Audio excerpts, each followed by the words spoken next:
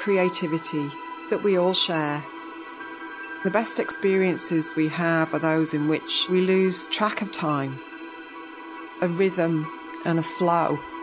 It's there for you too. An abstract expression, peace,